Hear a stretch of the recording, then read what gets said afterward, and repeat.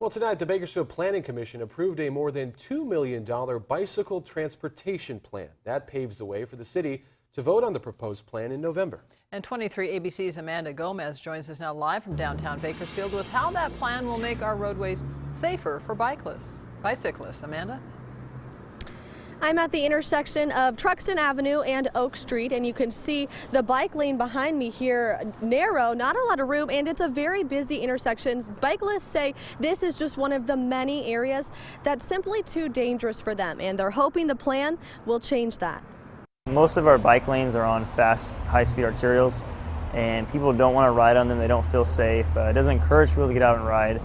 Uh, ultimately, you see a, a very small portion of people biking. But Jason Cater, executive director of Bike Bakersfield, says the new bicycle transportation plan will help riders feel more comfortable on the streets. It's a plan for better infrastructure. The goal is to create a network of bike paths, bike lanes, boulevards, and routes that are in safer areas. There's been a lot of deaths actually this year. We've had a, a really bad year as far as pedestrian and bicyclist uh, incidents with automobiles. We're trying to protect the people from getting hit by cars. So uh, I think it's long overdue.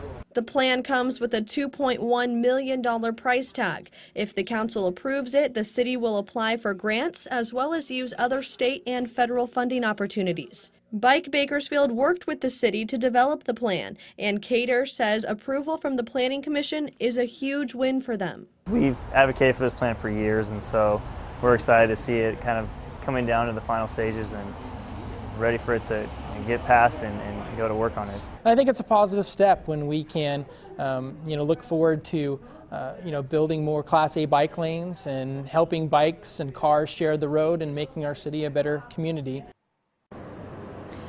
A bicyclist was killed in northwest Bakersfield just a couple of days ago, and supporters of the plan hope it will prevent future accidents. Reporting live in downtown Bakersfield, Amanda Gomez, 23 ABC.